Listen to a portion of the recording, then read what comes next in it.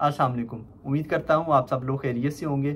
My name is Muhammad Mudassar and I am a P H D student جیسا کہ آپ سب لوگوں کو پتا ہوگا کہ چائنا میں یونیورسٹیز نے اپنا رزلٹ اناؤنس کرنا سٹارٹ کر دی ہے اور uh, دو ڈاکومنٹس بہت امپورٹنٹ ہوتے ہیں جو کہ چائنیز یونیورسٹی ایشو کرتی ہے۔ ایک ہوتا ہے جے ڈبلیو فارم اور دوسرا ہوتا ہے آپ کا uh, ایڈمیشن لیٹر اور یہ دونوں ڈاکومنٹ چائنیز یونیورسٹی ایشو کرتی ہے اور یہ دونوں ڈاکومنٹ آپ کے ویزا پروسیس کے لیے بہت ہی امپورٹنٹ ہوتے ہیں۔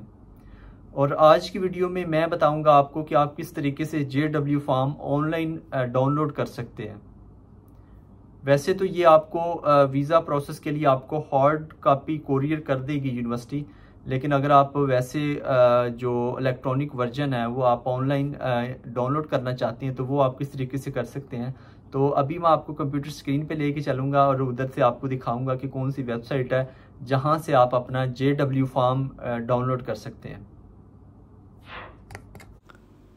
سب سے پہلے آپ نے اس ویب سائٹ پہ آنا ہے۔ اس ویب سائٹ کا لنک میں نیچے ڈسکرپشن میں دے دوں گا۔ ویب سائٹ ہے study in China dot E D U dot C N اور اس ویب سائٹ پر آنے کے بعد آپ نے کلک کرنا ہے ویزا اپلیکیشن پہ۔ اس کے بعد آپ سیکنڈ آپشن دیکھیں گے J W two zero one two zero two.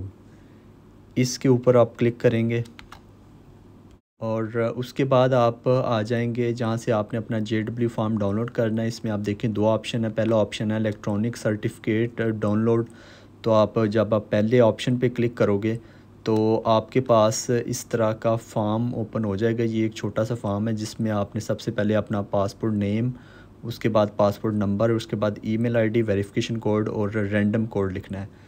Passport نیم میں آپ نے اپنا سیکنڈ نیم پہلے لکھنا ہے فرسٹ نیم بعد میں لکھنا ہے۔ اس طرح بھی آپ دیکھ لیں، میرا خیال اسی طرح ہی ہو جائے گا۔ اگر کسی کا اس طریقے سے نہیں ہوتا تو آپ فرسٹ نیم پہلے لکھیں اور سیکنڈ نیم بعد میں لکھیں۔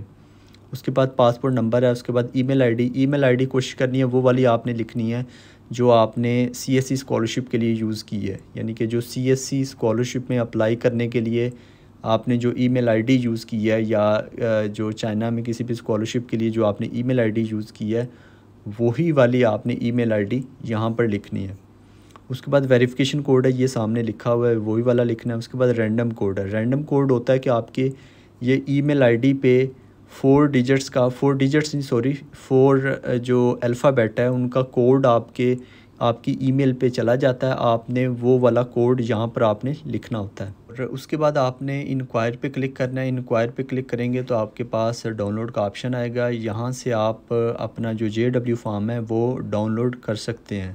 اور میں آپ کو دوبارہ بتا دوں کہ جو ہارڈ فارم میں جو آپ کا جے ڈبلیو فارم اور آپ کا ایڈمیشن لیٹر ہے، یہ دونوں ڈاکومنٹ آپ کو یونیورسٹی آپ کو کوریئر کر دے گی جو کہ آپ کے ویزا پروسیس کے لیے یوز ہوگا۔ اگر تو کسی کا یہاں سے جے ڈبلیو فارم آ جاتا ہے تو ویل اینڈ گڈ اگر نہیں آتا تو آپ اپنی جو یونیورسٹی ہے وہاں سے آپ ای میل کا ویٹ کریں۔ ہو سکتا ہے کہ انہوں نے ابھی تک اپنا رزلٹ اناؤنس نہ کیا ہو، کیونکہ جو سی ایس سی اسکالرشپ کا میں اگر بتاؤں تو اس کا جو رزلٹ اناؤنس ہوتا ہے وہ جس طرح سے یونیورسٹیز کی ڈیڈ لائن ہوتی ہے ڈفرینٹ ڈفرینٹ تو اسی طرح سے سی ایس سی اسکالرشپ کا جو رزلٹ ہے، وہ بھی ڈفرینٹ ڈفرینٹ ڈیٹس پہ ایشو ہوتا ہے یونیورسٹی ٹو یونیورسٹی اس کی جو رزلٹ اناؤنسمنٹ ہے، وہ ویری کرتی ہے یونیورسٹی ٹو یونیورسٹی تو اس لیے آپ کو ویٹ کرنا چاہیے۔ اگر آپ کو ای میل آ جاتی ہے، تو پھر یا آپ کا اسٹیٹس چینج ہو جاتا ہے آپ کے پورٹل پر سی ایس سی پورٹل پر یا یونیورسٹی پورٹل پر، تو پھر آپ یہاں سے اپنا J W form download کر سکتے ہیں۔